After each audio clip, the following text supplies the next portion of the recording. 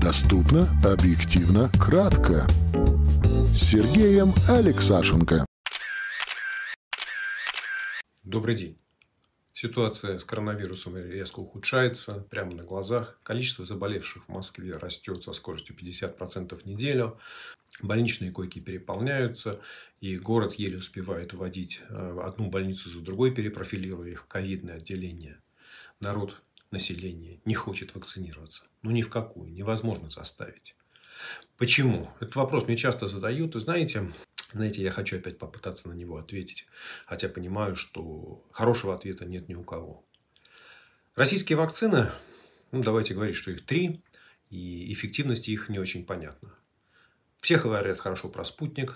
Спутник – это единственная вакцина, про которую была опубликована большая статья с результатами исследований в признанном журнале «Ланцет» единственная вакцина, которая подана на регистрацию во Всемирную организацию здравоохранения, где уже 10 вакцин разрешены к применению в условиях чрезвычайной ситуации. Вакцина «Спутник» не разрешена Всемирной организации здравоохранения. От России затребованы дополнительные документы, поясняющие документы. Одним словом, что-то не так с российской вакциной, хотя, хотя похоже, она работает. Работает Почему тогда Путин прячется? Почему Путин прячется в своем бункере? Почему он не хочет встречаться с людьми? Почему он заставляет по две недели всех высиживать в изоляции, прежде чем подойти к, ему, к его телу? Ну, значит, что-то с российской вакциной не так. А тут еще а тут еще мэр Собянин, который, в общем, на самом деле до недавнего времени проявлял себя как достаточно адекватный менеджер, который, ну, более или менее а, управлял городом, статистике которого можно было доверять. Ну, знаете, просто я не могу найти другого слова, просто заврался. Ну, ничего подобного нет. В июле прошлого года, ровно год практически назад, 11 месяцев назад, мэр Собянин с гордостью заявляет, что Москва прошла пик коронавируса. И уже на основании опыта и разговора со многими специалистами, врачами, я вижу, что все-таки мы пики прошли. И никакой второй волны в ближайшее время не ожидается. Никакой второй волны не будет. И она была, она была осенью. А сейчас? Сейчас пришла третья волна. Зачем он это говорил? В июле прошлого года он говорил про то, что уже значительная часть москвичей обрела коллективный иммунитет и называл цифру 22% в июле месяце. Осенью он назвал цифру 60%. Все-таки в Москве, считаю, выработался коллективный иммунитет у населения, который позволяет с уверенностью дальше выходить из э, ограничений. Более 60% москвичей либо переболели, либо сделали прививки. Это большая э, популяционная прослойка. Откуда это взялось? Коллективный иммунитет – это сумма людей, которые переболели э, коронавирусом или э, сделали себе две прививки. Да, тогда у них появляются антитела, у них появляется защита. Отдельный вопрос, как долго она работает, об этом чуть попозже поговорим. Но вот осенью 60% имела коллективный иммунитет, по мнению Собянина, в Москве. Послушайте. Да хрен ее знает. Если в Москве переболело 50% населения, то, вообще говоря, это означает, что на всю остальную Россию ничего не остается. То есть, все переболевшие ковидом, они сосредоточены в Москве. Ни в одном другом регионе не было ни одного заболевшего. В России по состоянию на сегодня на коронавирусом переболело 3,6% населения. И никаких 10%, никаких 20%. Это официальная статистика. Я понимаю, вы мне скажете, что она врет, она недостоверна. Это все просто враки какие-то. Российская статистика может врать. Я постоянно говорю о том, что российские власти врут, врут как сивые мерины. Вот такое стадо сивых меринов, которые, мне кажется, вообще уже разучились говорить правду. Но давайте предположим, что российские данные по заболеваемости ковидом недостоверны. Давайте посмотрим, что происходит в других странах. Ведь статистика собирается не только в России. Максимальный уровень переболевших ковидом достигнут в Андоре. Андора маленькое государство с населением там, чуть больше 77 тысяч человек. Уровень заболеваемости, уровень число доли населения, переболевших ковидом 17,8% населения. Если мы посмотрим страны с населением, не знаю, я взял отметку 30%, 30 миллионов человек, то на первом месте идут Соединенные Штаты Америки. 10%. И дальше идет все вниз. Вы видите на графике, что Россия занимает, ну хорошо, 3,6%.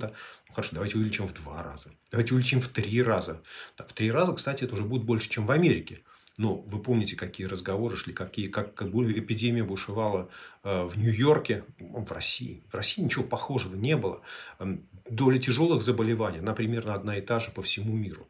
Поэтому я готов поверить, что российские цифры недостоверны по числу заболевших, ну хорошо, ну в два раза. Ну, хорошо, будет не 3,6%, а 7%, 7, 7% населения. Но очевидно, что до коллективного иммунитета даже в Москве с числом вакцинированных там, 10%, 12% населения, ну, точно совершенно дойти невозможно.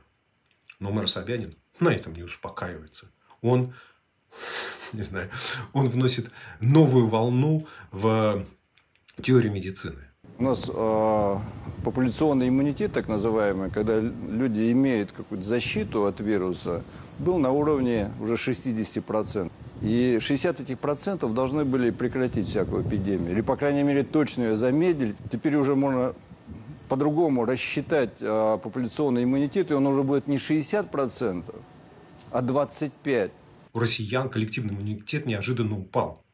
Что число, количество антител падает, и что если месяц назад, 14 мая, он давал это интервью, э, коллективный иммунитет в Москве составлял там, число переболевших плюс вакцинированных было 60%, то сейчас это уже 25%.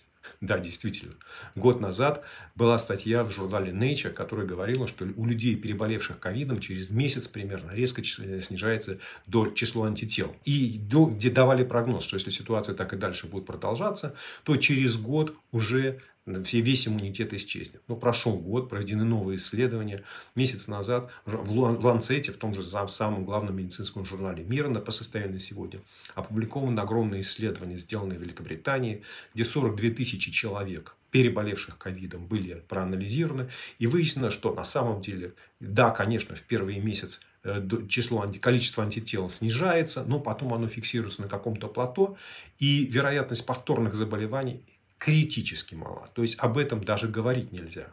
Более того, в этом исследовании по Великобритании сказано, что вакцины Pfizer и Moderna, которые они анализировались, они дают, и AstraZeneca дают достаточную защиту от повторных заболеваний. То есть, если вы привились, то вам, вообще говоря, нечего бояться.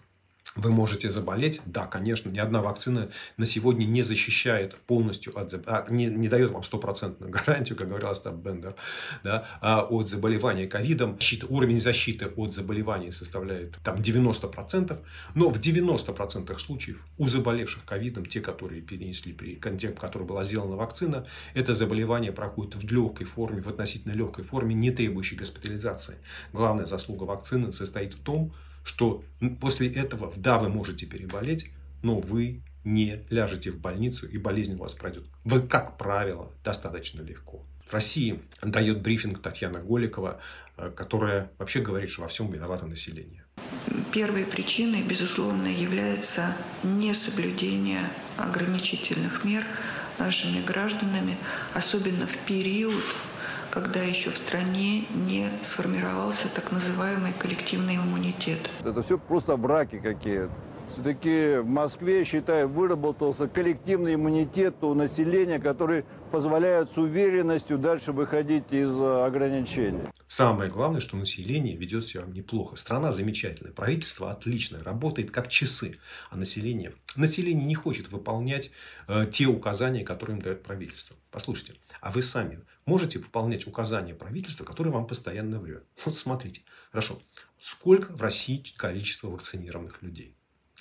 10 мая президент Путин с гордостью заявляет, в стране вакцинирован 21 миллион человек. Ну, хорошо, поверили.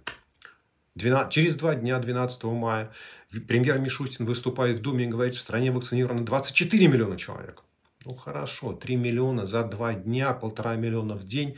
Ну, вообще говоря, это темп вакцинации, который в США достигали, там, раскручивали достаточно долго. Песков, как всегда, мутит воду и выступает с комментарием. Ну, вы понимаете, штаб оперативный, результаты дают с запозданием. Ну, там, сюда. Короче, не будем притираться. Там, знаете, вот там 21 миллион, 24 миллиона. Проходит месяц. Выступает 18 июня на этом брифинге Татьяна Голикова и говорит, в России вакцинировано 19,7 миллиона человек. Это через месяц. То есть, получается, что вакцинация идет в обратную сторону. Ну, послушайте, как можно доверять такому правительству, которое даже вот по примитивному показателю, по самому простому показателю количества вакцинированного населения не может сказать правду? Дальше возникает вопрос, Бывают случаи заболеваний э, после вакцинации. Да, бывают. По всей мировой статистике, во всем мире, да, бывают такие случаи. Повторюсь, вакцина не защищает, но, как правило, болезнь проходит легко. Поэтому, когда мэр Собянин говорит, что вот, вы знаете, уровень вакцинации упал, число, количество антител резко сократилось, и все это потому, что нужно делать ревакцинацию, и говоря про ревакцинацию, Татьяна Голикова говорит фразу, которую я вообще, честно говоря, не понял ревакцинацию граждан, которые уже вакцинировались какими-либо вакцинами, проводить не ранее, чем через 12 месяцев. И важно и большое внимание на то, о чем я сейчас скажу. А в условиях неблагоприятной эпидемиологической ситуации, то есть эпидемиологического подъема, в котором мы сейчас находимся, через 6 месяцев. Итак, ревакцинацию нужно делать не ранее, чем через 12 месяцев. Но в тяжелой ситуации через 6.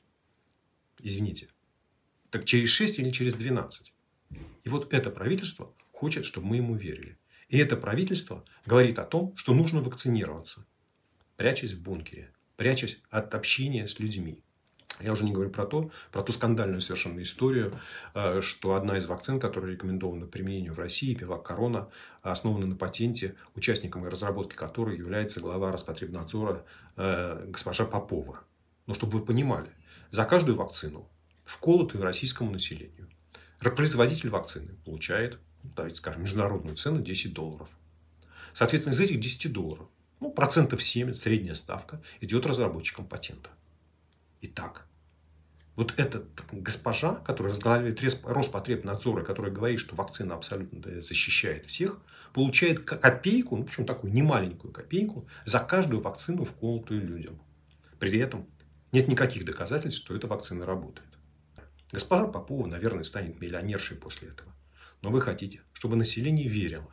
Население не может верить тем, кто врет. Население не может верить тем, кто зарабатывает на чужом несчастье. Госпожа Попова именно такая. Принудительная вакцинация, я понимаю, что это решение не самое хорошее. Наверное, оно противоречит базовым правам человека. Наверное, можно попытаться заставить вакцинироваться врачей, учителей, как бы заставлять вакцинироваться, ну, которые работают на государство, как можно заставлять вакцинироваться работников частных предприятий. Но опять черный рынок справок, как справки о состоянии здоровья для ГАИ, не знаю. Мне кажется, что Россия пошла явно не в ту сторону. Вместо того, чтобы объяснять населению, вместо того, чтобы рассказывать населению, как это работает, и этим должны заниматься профессиональные врачи. Этим не должен заниматься мэр Собянин, это не, должен заним... не должна заниматься вице-премьер Голикова, уж точно этим не должна заниматься госпожа Попова, которая просто зарабатывает бабки на чужом несчастье. Этим не должен заниматься президент Путин. Этим должны заниматься профессиональные медики, к которым есть доверие. Но этим медиком, конечно, не может быть доктор Мясников. И, к сожалению, этим медиком не может быть Денис Проценко и руководитель известной антиковидной больницы в Москве, в Коммунарке. Почему, спросите вы меня? Я не знаю, я не знаком с господином Проценко. Возможно, даже он очень хороший доктор. Возможно, он даже очень хороший главврач больницы. Возможно, даже у него лечебный процесс организован там замечательно. Но для того, чтобы говорить о влиянии коронавируса, о борьбе с коронавирусом, нужно обладать чуть более другими знаниями. Нужно все-таки быть не столько практиком, да, сколько э, понимать, как устроена современная наука, как интерпретировать результаты исследований, уметь рассказать людям, простому населению о том, что говорит современная наука. Вот. А самое главное, что, на мой взгляд, э, господин Проценко сильно подорвал свою репутацию, когда он согласился идти в списке «Единой России» на выборы в Государственную Думу. Беда, коль пироги начнет точать, э, печи сапожник, а сапоги точать пирожник. Вы, господин Проценко, возможно, хороший главврач больницы. Но вы будете отвратительным депутатом. Потому что вы будете голосовать за то, что вам скажут из Кремля. Вы потеряли совесть, вы продали свою совесть. И вы хотите, чтобы вам после этого верили. Второй сегодняшний сюжет неожиданно всплыл из Соединенных Штатов Америки, когда информационное агентство э, разнесли новость о том, что США готовят новые санкции против России. Это стало известно после того, как помощник э, президента США по национальной безопасности господин Салливан дал интервью каналу CNN, в котором сказал, там мы готовим эти санкции. Why haven't you sanction Russia again for poisoning Alexei Navalny. And we are preparing another package of sanctions to apply in this case as well. We've shown all along the way that we're not going to pull our punches, whether it's on solar winds or election interference or Navalny. It will come as soon as we have developed the packages to ensure that we are getting the right targets. And when we do that, we will impose further sanctions with respect to chemical weapons. В этом нет никакого секрета. Санкции, о которых говорил господин Салливан, связаны с отравлением Алексея Навального, с применением боевого химического оружия, э, которое применяло российское правительство по отношению к гражданину своей страны. Это все попадает под действие американского закона о контроле над биологическим и химическим оружием до 1991 года. И в этом законе черно по белому написано, что применяются первые санкции, которые были введены в отношении России в начале марта. И через 90 дней, то есть в начале июня, президент должен ввести вторую волну санкций, если страна, в отношении которой введены санкции, не исправилась, не вступила в переговоры, не раскрыла данные о химическом оружии, не там, раскрыла их запасы, не обеспечила их контроль за их использованием, сохранением и так далее. И так далее. В общем, короче говоря, Россия точно совершенно попадает по этому критерию, потому что ну, Россия только отморозилась. Встреча с Байденом, с Путиным здесь вообще ни при чем. И вот на этот вопрос господин Салливан дает на самом деле очень тонкий ответ. Подчеркиваю, санкции будут введены, но американская администрация, администрация Белого дома очень хорошо понимает, что те санкции, которые прописаны в законе, а президент должен выбрать из того перечня, который там содержится, а это прекращение кредитования России со стороны межгосударственных финансовых институтов, типа ЕБР, Европейского банка реконструкции и развития Всемирного банка, запрет на предоставление кредитов России, запрет на экспорт вооружений, экспортные ограничения в Россию в целом, понижение уровня дипломатических отношений и запрет на полеты национальных авиакомпаний из одной страны в другую. Вы понимаете, что по первым позициям там, кредиты Всемирного банка и ЕБР России не выдаются уже много лет после э, а, а, захвата Крыма и агрессии в Донбассе. Ну, Россия американское вооружение никогда не импортировала, экспортные ограничения активно применяются. Что еще остается? Кредиты запрещены, дипломатические отношения, ну, вот их фактически Россия сама понизила. Россия отозвала сначала своего посла из Вашингтона, потом выгнала американского посла из Москвы. Ну, то есть, Россия уже все это сделала. Теперь президенты договорились, что послов нужно вернуть назад. Ну, понизить уровень дипломатических отношений в этой ситуации все-таки действительно неразумно. Можно было не, сокращ... не соглашаться с возвратом послов, а наоборот официально отозвать Вашингтону а, своего посла из Москвы. Остается запрет на компанию «Аэрофлот». Ну, и в этом отношении я подчеркнул, обратите внимание на то, что сказал Салливан. Мы сейчас ищем наилучший формат на те санкции, которые должны быть введены с тем, чтобы они работали. Одним словом, спите спокойно. В ближайшие дни санкций не будет но санкции за отравление Алексея Навального, так же, как и санкции за вмешательство в выборы, так же, как и за санкции за вот эту массированную информационную атаку с использованием компании SolarWind, э, с хакерскими атаками, которые э, позволила российским спецслужбам получить доступ к, не знаю, к десяткам, если не сотням государственных агентств и американских компаний. За это будут санкции введены. Когда? Мы не знаем, но мы это увидим. Спасибо большое вам за внимание. Подписывайтесь на мой канал, ставьте лайки, задавайте свои вопросы. До новых встреч. До свидания. Доступно, объективно, кратко. Сергеем Алексашенко.